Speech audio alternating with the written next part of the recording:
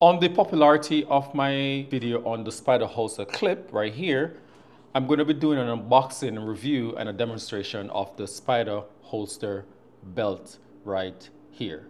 Let's get straight into the video. All right, so this is the unboxing for the spider dual camera system for mirrorless cameras. Okay, guys? All right, guys, so this is what is included in the package. You guys can see that. You can pause the video at any time. Good. Let's look at the back. Good. And look at the other side, and this is how the attachment goes for the camera. Got that.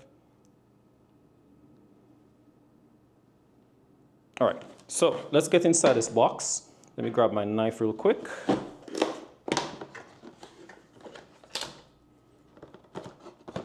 Let's pull these items out. So there's the belt.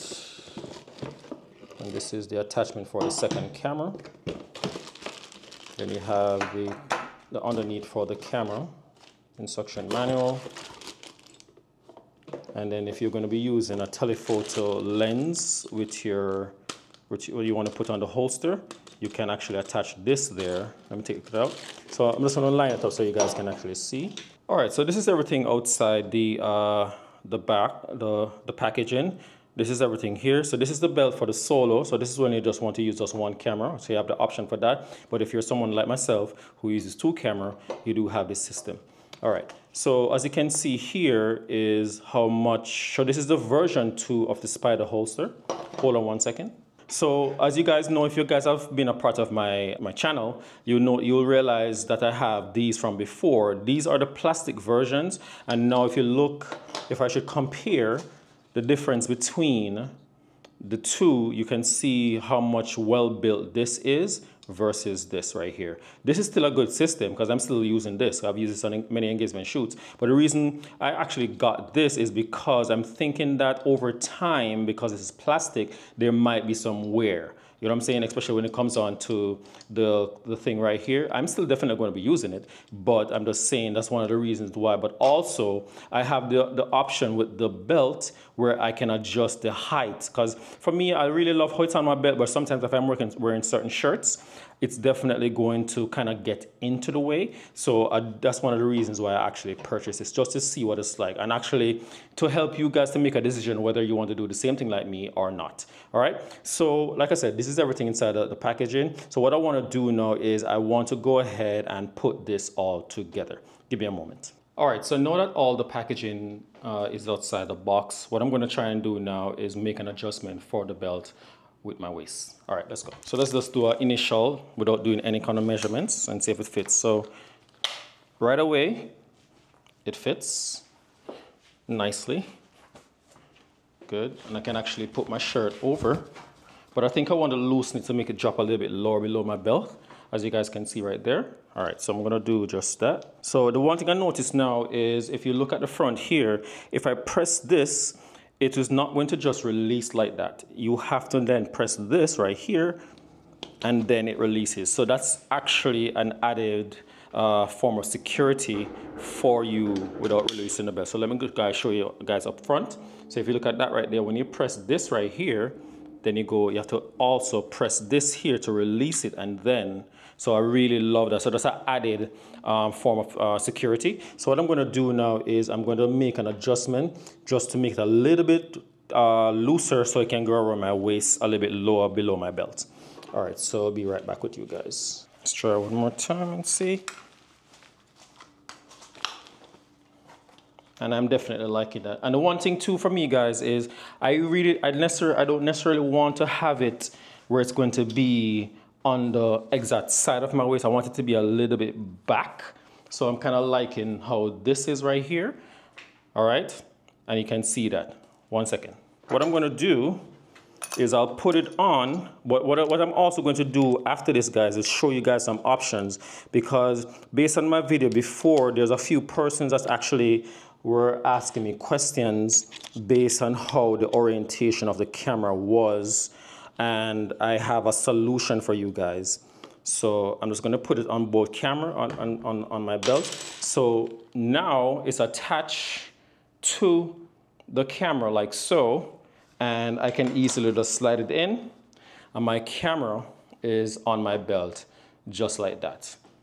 And I'm liking it. I'm liking it more because I really want it to be a little bit more to the back. So that's how I'm going to also attach this section right here a little bit more to the back rather than having it on the side. Because the, one of the concerns that a lot of people have been asking me is, how will it be if I'm walking through a crowd of people and the camera is hanging at my side? And this is one of the solutions that I found um, while I was wearing the clips on my belt, is that I kind of put the camera a little bit to the rear, not all the way back, but a little bit to the rear and to the side. And that way, I, I know that walking through a crowd, I, and I also have my hands kind of hanging here. And if I need to do this, I can also still kind of do that. So I have that option. So what I'm going to do is I'm going to set up the other camera as well, but I'm also going to set up my, I want to find out where on the belt that I want to put this right here. So I think I'm going to put it around here. But the one thing I kind of enjoy too with this belt, it has a padding. So let me take this out,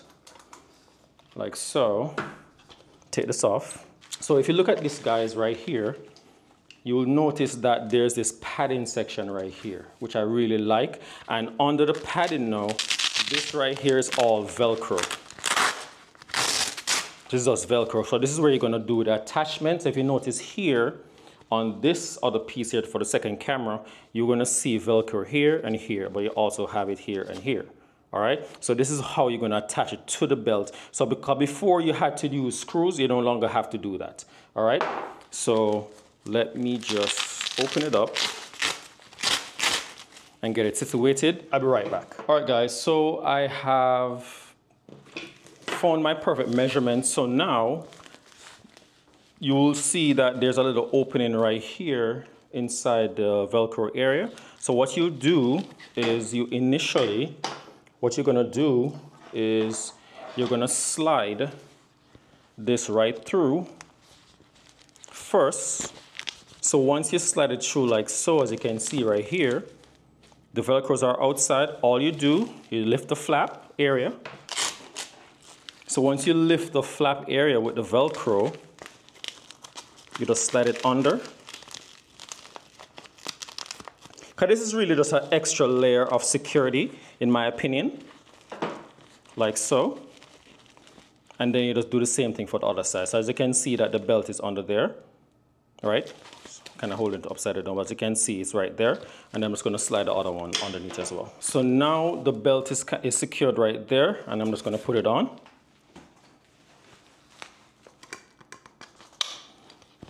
Pull my shirt over. This is how I would normally, I would definitely use it. Because as you notice, my belt is here, but the clip is all the way here, which I like. Look on the other side, same thing. And it's nice and snug on my waist. It's not going anywhere. And you can see that right there.